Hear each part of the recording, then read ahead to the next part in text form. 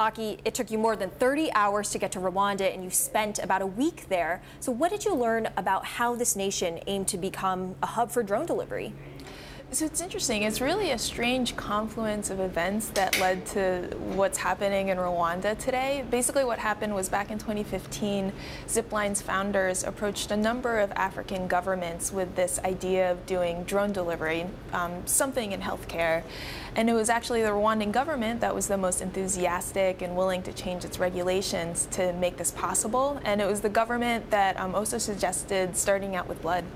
And your character there, Abdullah, he is this drone delivery operator. I mean, how big could this type of career become in the future? I think it's certainly really promising. I mean, obviously, Zipline isn't the only company that's trying to make this happen right now. Uh, some of the biggest companies in the world, right? Amazon, Google, they're all trying to make this happen. But of course, uh, governments around the world need to deregulate their skies to make this even possible. For example, in the US, um, you need to have all autonomous drones within eyesight of the pilot. Um, there are a couple exceptions with some trials right now, but that would obviously need to change for some kind of nationwide drone delivery service to happen here. So it's pretty impressive that Zipline has already done all of these tests and is commercially operating. Are they actually ahead of the game compared to what Google's trying to do, Amazon? I would certainly say, yeah, they're ahead of the game when it comes to uh, running a day-to-day service, right? Um, Zipline has already made more than 8,000 flights, uh, carrying about 15,000 units of blood. So that kind of real-world day-to-day experience, it's and, and also the data that they're collecting, it's hard to beat that.